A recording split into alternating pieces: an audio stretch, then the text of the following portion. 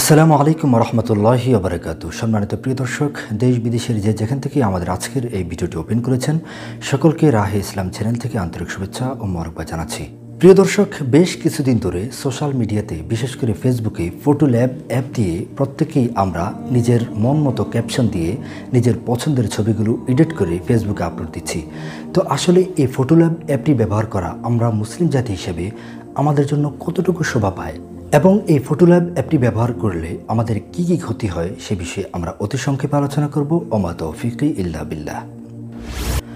প্রিয় দর্শক, সর্বপ্রথম কথা হলো, এই ফটো ল্যাব অ্যাপটি ব্যবহার করতে হলে প্রথমেই আমাদেরকে ফেসবুক কানেক্ট করে অ্যাকাউন্ট ক্রিয়েট করতে হবে অথবা জিমেল কানেক্ট করে অ্যাকাউন্ট ক্রিয়েট করতে হবে।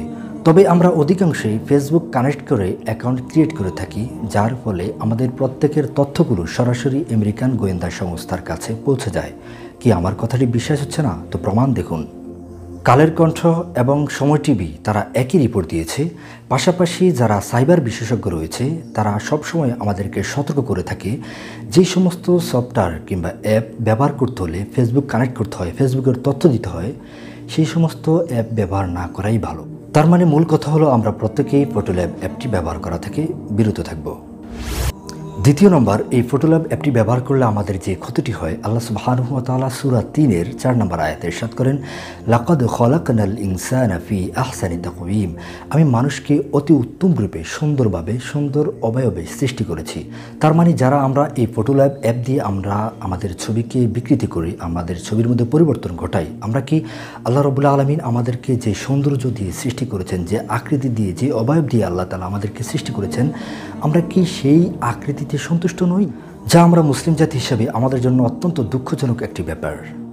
এই ফটোল্যাব অ্যাপটি ব্যবহার করলে তৃতীয় নম্বর আমাদের সবচেয়ে বড় যে ক্ষতিটি হয়ে যাচ্ছে রাসুল্লাহ সাল্লাহ আলাইসাল্লাম বলেছেন, কেয়ামতের দিন মানুষের মধ্যে সর্বাপেক্ষা কঠিন শাস্তি হবে তাদের যারা প্রাণীর ছবি অঙ্কন করে প্রাণীর ছবি আঁকে।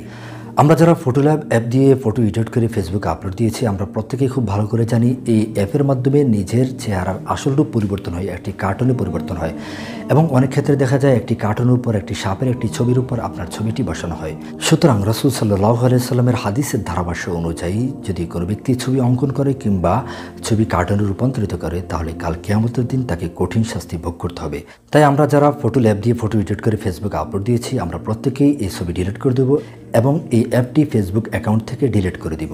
পাশাপাশি আমরা যারা ফটো ল্যাব দিয়ে ফটো এডিট করে ফেসবুকে আপলোড দেওয়ার ইচ্ছা পোষণ করেছি, আমরা আল্লাহ তালার আজাবকে ভয় করি এবং এই সমস্ত অ্যাপ ব্যবহার করা থেকে বেঁচে থাকি। প্রিয় দর্শক, আপনারা যারা এই মুহূর্তে আমার এই ভিডিওটি দেখছেন হ্যাঁ আপনাকেই বলছি, যারা আমার এই ভিডিওটি এই মুহূর্তে ওপেন করে দেখছেন প্রত্যেকের নিকট আবেদন করব। আপনারা অবশ্যই ভিডিওটি শেয়ার করবেন। হতে পারে আপনার একটি শেয়ারের কারণে অনেক ভাই এই ধরনের গুনার কাছ থেকে বেঁচে থাকতে পারবে। আল্লাহ সুবহানুয়া তালা আমাদের প্রত্যেককে এই সমস্ত অ্যাপ ব্যবহার করা থেকে বেঁচে থেকে পরকালে কঠিন শাস্তি থেকে বাঁচার তৌফিক দান করুন। সকল ভালো থাকুন, সুস্থ থাকুন। এই প্রত্যাশায় আজকের মতো এখানে বিদায় নিলাম। দেখা হবে ইনশাআল্লাহ পরবর্তী কোনো ভিডিওতে। আসসালামু আলাইকুম রহমতুল্লাহ।